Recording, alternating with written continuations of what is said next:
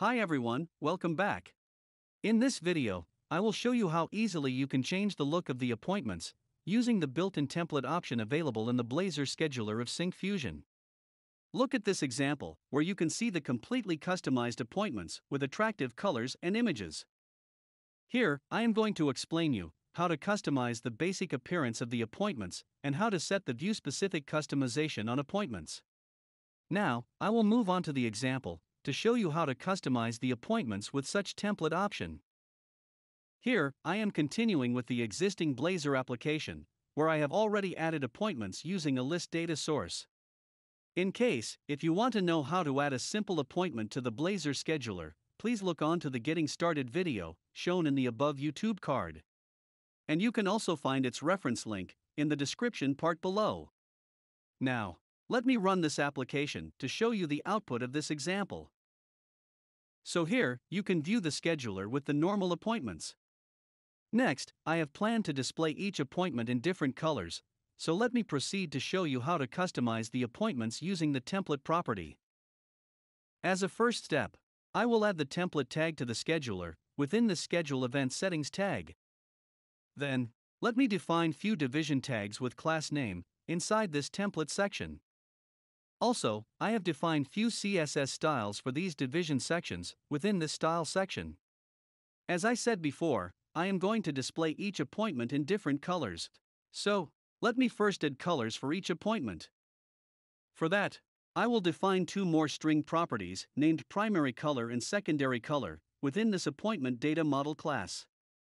And then, for these two properties, I will assign appropriate color codes inside the objects.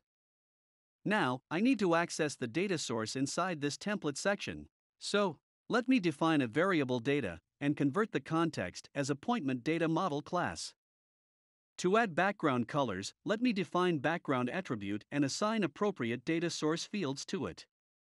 Along with this, I have planned to display subject and time information in the appointment. So, using data variable, I will access the data source field subject and time.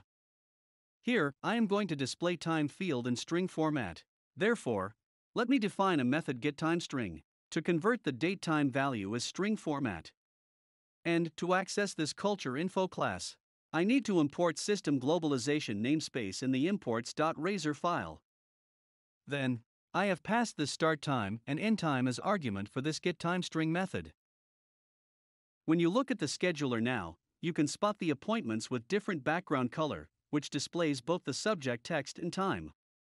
Next, let me proceed to show you how to add image to the scheduler appointments. To customize appointment with image, first let me define image tag with alt attribute inside this division tag. Also, I have defined some CSS styles for the image class. Then, within this appointment data model class, to store the image name, I will define one more property, named image name, and assign appropriate values to the objects. Here, I am going to add a hyperlink to insert an image in the appointment. So, within this image tag, let me define source attribute with appropriate URL link. Also, I have set alternative name for the image. Look at this scheduler, the appointments are displayed with the images.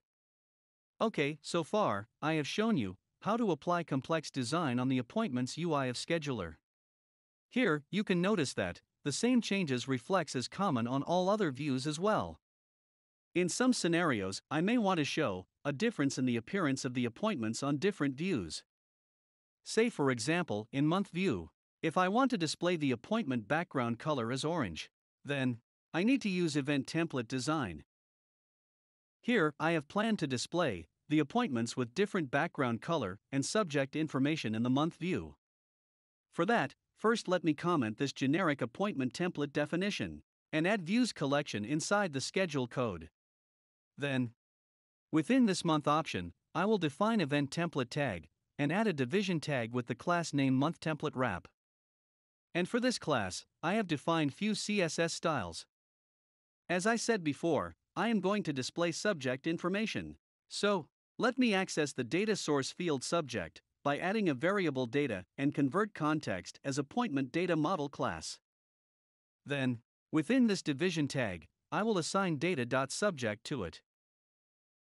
When you look at the scheduler now, the template customization applied on month view appointments, which displays the subject text alone. And if I switch on to day view or week view, you can see the appointments with no customization. This is because I have defined the event template design only for the month view. Suppose, if I want to display my previous generic template design within this week view, then I need to define event template tag and assign generic design to it. And now, you can see the appointments in month view displaying the subject. And in week view, the scheduler appointments displays the subject and time with different background colors. And if I switch on to the day view, you can see the default appearance of the appointment.